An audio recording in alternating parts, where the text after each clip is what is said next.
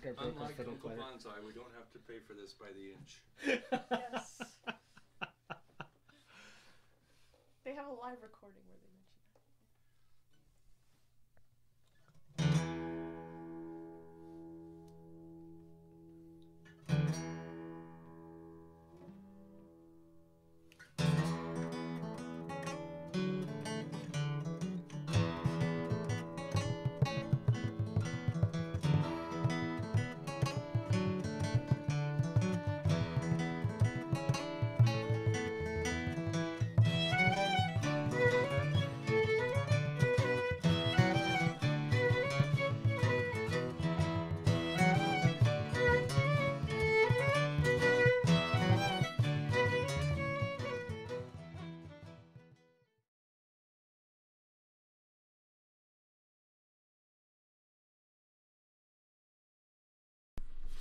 Well, here we go.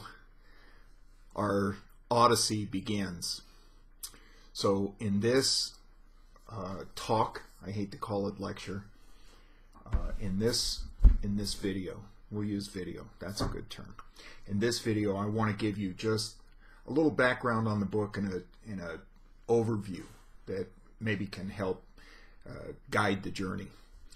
I'm also going to stay on my notes so that I don't wander because that chocolate cake thing went a little bit longer than probably necessary. So I'm going to use my notes so I can stay on point. Now, this is not a technical course. This is just so you can enjoy the book and have fun reading it. So this isn't going to get you through a college class or pass a high school test if you're reading the book for a class, uh, though it might what I want to do is make the book fun. So I want to give you enough so that you understand what's going on. So you don't read the book and just think, I, I don't get it. So the whole purpose of this Ulysses course, if we can use that word, or this uh, Ulysses series, is to make the book fun to read and a little less opaque. Uh, because I sincerely believe you can read the book strictly for pleasure. You don't need a lot of in-depth analysis. But as I said in the chocolate cake video, you you need to kind of know a little bit about what you're getting into as as you go forward. So, you know, if you'd never seen chocolate cake, you wouldn't get it. So, I'm not going back into that again, but you understand what I mean. So, in this uh, video, I want to give you some background on the book, just something to work with. And in the next video, we will start with episode one. So, first of all, the book Ulysses shadows the Odyssey, the uh, ancient Greek classic, uh, supposedly written by Homer. They say supposedly because I don't think that's verified by historians, but again, we don't want to get too technical here. So the the the book shadows the Odyssey. It's not based on the Odyssey. Joyce would cringe if somebody said that his book was uh, based on the Odyssey. He, he wouldn't like that. It's an, a totally original work, but it shadows the Odyssey in that there are certain uh, progressions which follow the the same path in both books. So it it's shadowing it, but it's not based on it. It's not a modern adaptation of the Odyssey. It's uh, I, I wouldn't even say it's based on it. In fact, the the chapter headings that are often put in, for example, chapter one is uh, Telemachus. That's the son in the Odyssey. Joyce didn't put those chapter headings. Those were added later by publishers thinking that, well, if we can make this book intelligible, maybe more people will read it.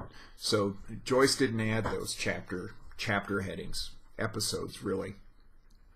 So it, it's it's it's a loose shadowing of the Odyssey, but it, it it does shadow it in some very interesting ways. And throughout these uh, videos, we'll talk about that a little bit. So I, I wanted to get that out of the way first. It's not a it's not the Odyssey redone. To, to keep that in mind. You might, however, read the Odyssey. It's worth reading, and it will give you more insight into the book. So if you read it a second time or a third time, it's it's good to have a little background, and and it will help because there there are parallels. Now the main characters in Ulysses are Leopold Bloom. He's our hero. Uh, Leopold Bloom is a middle-aged man, half Jewish. Uh, he's married to Molly Bloom. He sells advertising in newspapers, so he goes around town and solicits ads and uh, for a local paper. How would you like to run an ad? And he has ideas about advertising. One thing that's very interesting about Ulysses is you'll find it's timeless. A, a, a lot of stuff that happened over a hundred years ago now. We're talking about 1904 could be today. You know, there's still guys out there selling advertising. My phone rings all the time with people selling advertising and it's the very same kind of stuff. So you'll find a, a, lot of the stuff that happens in the book is totally timeless, and the things that would really date it, Joyce leaves out. So there's no like very specific reference to, uh, I would say, lack of technology. So you wouldn't say, you know, that couldn't happen today because everything in the book is is pretty much timeless. And I think that's an interesting aspect. So again, back to Leopold Bloom. He has a daughter, Millie, who is uh, 16, and she is now off in another place uh, working for a photographer, learning. She's learning photography and she's helping him out. And this is her big adventure away from home, and her first time extended period away from home. And uh, Bloom thinks of her often and there are subtle references to the photographer's assistant that somebody thinks somebody else is getting involved with. And so watch for any references to Millie or the photographer assistant. And that's a, sort of an indirect re reference to Millie, unless they say Millie, and then it's a direct reference. Um, Leopold and Molly had a son who died shortly after birth. That son is Rudy and uh, he is a very important character to this book, even though he's dead. Leopold often thinks of the son he could have had and, and that part of him that's missing by the son he doesn't have. And one of the central themes in the book is the relationship of fathers and sons. And we'll get back to that later. Um, the other main character of the book is Stephen Dedalus. Stephen is an autobiographical character of uh, James Joyce, really. It's uh, Stephen's life is based loosely on Joyce's own. In fact, the portrait of an artist as a young man, Joyce's earlier book, is really an autobiography. He expresses a lot of the things that happened in his life through Stephen Dedalus, who is sort of an alter ego of Joyce himself. Stephen is a poet. He's a smart guy. He's always thinking. So you have to remember when you're reading about Stephen, he thinks like a poet. So his words may be complicated, and he likes to play with words. He would explore words. So he doesn't just say the grass is green. He might elaborate on the color of the grass and the feeling of the grass in a in a in a mystical representation of the grass. So where people get confused in this book is in some of the language, but we have to remember we're talking about a, a really smart guy who is a poet. And if you've read poetry and had trouble with poetry, you'll understand why some of these thought processes can be hard to follow. And that's okay. You don't have to get it all. You can enjoy poetry without understanding every last word uh, in a poem, right? So that's kind of part of this whole Ulysses experience is that one of your main characters is a poet and he tends to think abstractly. So when we're hearing or reading Stephen's thoughts, they may be a little abstract. Don't let that bother you. Just enjoy the poetry of the way that Stephen thinks. That's the important thing, is to just enjoy the way he plays with words and where his mind goes. And of course, the third main character of the book is Molly Bloom.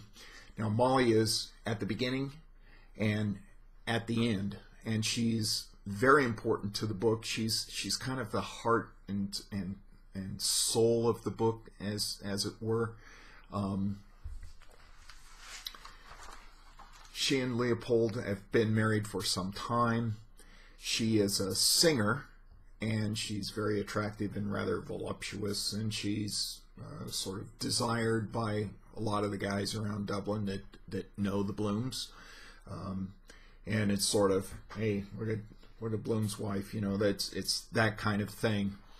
Now, since the death of, of Rudy, uh, Leopold has lost his drive. And so they have not had relations for quite some time.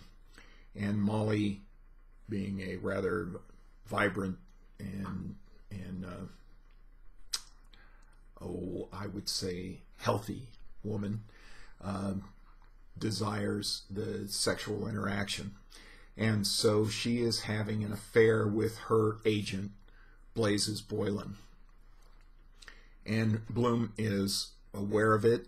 They don't discuss it. He sort of looks the other way. He tolerates it, though it disturbs him and I'll talk more about this later. Just suffice it to know that Molly is involved in a relationship, and, and Bloom knows. And this day, this June 16th, 1904, Molly has an appointment with Blazes Boylan to meet with him. And that is a sexual arrangement. Now, a little more background on the book. Joyce was a real stickler for detail. He wrote the book in Europe. He he left Ireland and he was in uh, Paris. Uh, he was in Trieste, uh, which is a part of eastern Italy, northeastern Italy. It's uh, up there. And he was in Zurich for a while. He moved around. Most of the book was written in Paris, but he really was fanatic about detail. So he would often write back to friends and family and say, I need you to go to a certain address and give me the exact color of the building or the exact distance. Walk from from this bar to this hotel and give me the exact time it takes you to walk that far and then walk from this place to that place and tell me exactly exactly how long it takes you to walk there.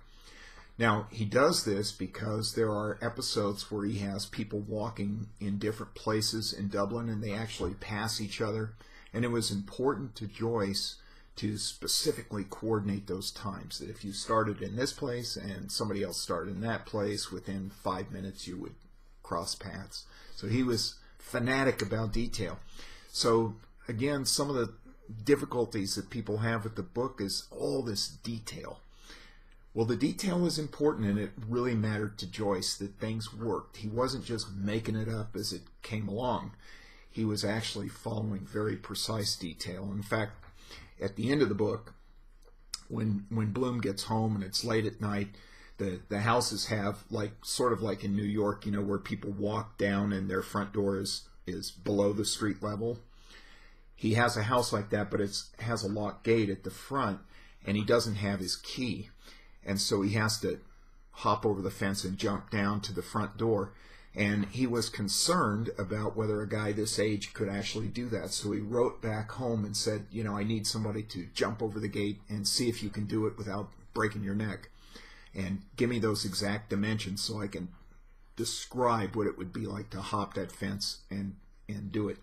So he, he really was into every single detail. In fact, Joyce famously said that if Dublin was destroyed, you would be able to precisely recreate it from this book, which you know it's it, it doesn't fully describe every detail of the city, but the detail that is there is precise. So you can know that if you're reading something that says this time uh, took five minutes to walk this far, or he walked from this place to that place and ate lunch, that's doable within the time frame. It's all realistic and extremely precisely planned. So I think that's interesting. It's worth knowing. Now, there are very specific themes in the book that we should watch for. And the main theme of the book is usurpation.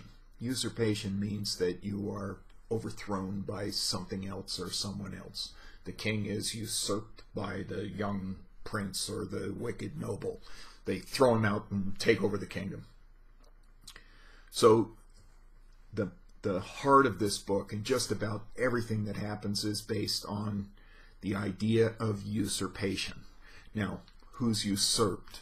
Well, if his wife is having an affair, Leopold Bloom is usurped in his own house. Ireland is usurped. It is under the control of the British. The Irish language is usurped because people speak English. Old Irish is not spoken anymore. And we'll talk more about that in, when we get to our lesson on chapter 1. So, usurpation. People are overthrown, displaced. That's a key to the book. And Leopold Bloom is usurped in, in many ways. He is Jewish, half Jewish. His father was Jewish and married a Gentile. And the Jews are, are uh, as many points in history, looked down on in Ireland. There are many references through the book of, of people disparaging the Jews. So he is usurped in that sense as well. So he's usurped as a husband, as a father. He's usurped as an Irishman. He's a second class citizen. Ireland is usurped by Britain. The people's freedom is usurped by the church, which controls their thinking and just about every aspect of their life. So usurpation is a huge theme of this book. Look for it. Pay attention. Look for where usurpation comes up, and you'll have a good time because Joyce slips it in in all kinds of interesting ways. Another huge uh, theme of the book is, um, or or metaphor is is Ireland. And again, I, I mentioned that Ireland is is usurped by the British, but look for themes of, of Ireland. Ireland is generally represented by green, so when there are references to peas, that's Ireland. And another uh, color, the Irish flag is green and orange. You'll see uh, references to orange. So any green orange references Ireland. You'll notice it's uh, represented by the sea, by green, by the river uh, Liffey, which is also mentioned in the book, which flows through Dublin. So watch for references to Ireland. And, and Ireland, uh, Joyce was disappointed that Ireland couldn't come up and rise up and overcome and and not only throw up the usurpers but get into the modern age and, and grow up another uh, symbol that you'll find throughout the book is keys keys occur in many places keys have a lot to do with usurpation if uh, if you're renting a place and and you get behind in your rent and the landlord throws you out they change the locks your key doesn't work a key can let you into something, and a key can keep you from getting into something. So, uh, or a key can let you in. Not having a key can keep you from getting in, obviously. So keys matter, and keys play a role in usurpation. And look for references to keys. They come up subtly in, in many places. Another key theme in the book is the relationship of fathers and sons. Now, this is a really complex relationship. And Joyce recognized that there are really two kinds of father son relationships. There's the kind where the father is threatened of being usurped by the son. You know, the, the Oedipus thing that, you know, the, the son will overthrow the father. That's really important, and you'll see many examples of bad fathers. Stephen Dedalus's own father is essentially abdicated his role. He's usurped to uh, alcohol. He's usurped to British rule. He's usurped to just giving up, lack of morale. He's let his son wander the city. He's let his other kids just raise themselves. So he's abdicated his role. There are other fathers, on the other hand, who who foster the development of the son and look for succession, like the, the good king that, that teaches the prince and develops him and brings him along so that someday he can be the future king. So there are two kinds of fathers, and we find that uh, you well you decide you decide on who's which, but pay attention to this and look for those roles when you when you see fathers and sons. See if you can decide, you know, which is this the the the better kind or the not better kind. But it's very important to the book. Alcohol is very important to the book. Alcohol is a usurper. Alcohol takes away power. Now, Joyce was a heavy drinker and probably an alcoholic, so it's interesting that he recognizes this, but he sees that the Irish, you know, they do waste a lot of their life smashed, and there's a lot of characters in this book that have no life because of alcohol. So pay attention to what alcohol does all throughout the book, from the very beginning conversations all the way through to the very end. Alcohol is one of the pillars that are part of this book. Death is also very important. Now, Joyce subscribed to an idea of history being cyclical, that history repeats and history repeats, and it, it it's a constant cycle. This was put out by a guy, well, as many people, but there was a, a person, Vico, you can look it up, V-I-C-O, and and Joyce really liked his idea of the cyclical nature of history.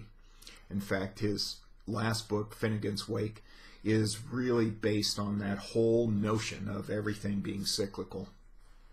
So, death and the cycle of life is also a very important theme to this book. So, you got your three characters Leopold Bloom, Stephen Dedalus, and Molly Bloom your main theme, usurpation, to be overthrown, displaced from your rightful position. Now, some people accept that and roll over, and some people overcome. What is so wonderful about Leopold Bloom and what is so wonderful about the book is that the book is a comedy, not a tragedy, it is very uplifting, and the wonderful thing is that Leopold Bloom overcomes not by being tough, not by being an asshole, not by winning the fight, but by being a good, decent guy. He overcomes all the usurpations, and we'll see how that happens. But look for instances of greatness in Leopold Bloom. The the little things that he does that the other characters would never consider. And I'll point a few of them out, but for fun, these are the Easter eggs throughout the book. Look for the stuff that Leopold does. And you'll find lots of very interesting examples. Notice as you go through the book that Joyce is master of the subtle. So he doesn't club you over the head with an idea. There are little subtleties, and I'll help you see those in the in the early videos, but as we go, you'll see them yourself, and I'll not point them out. I'll help you with the harder stuff. But Joyce loved subtlety in his writing, and that's something that also can be difficult because we're not used to that. We're used to get to the point, be obvious. And I probably should do that now because I'm over time, but I love the book and I can't help myself. Watch for these little subtleties when something seems unimportant, pay attention, okay, because it might be very significant. Enjoy the poetry of the wording. You don't have to understand everything. This is not a book you're going to get the first go around. Just enjoy it, go with it. Think of that River Liffey that flows through Dublin. Some people say Liffey. Just enjoy that ever flow into the sea. I hope you enjoy the book. In the next video, I'll get you introduced to chapter one. And I'd love your comments. So please put comments below, subscribe so you can get the whole series, um, ask questions, and I'll answer as best I can. Thank you.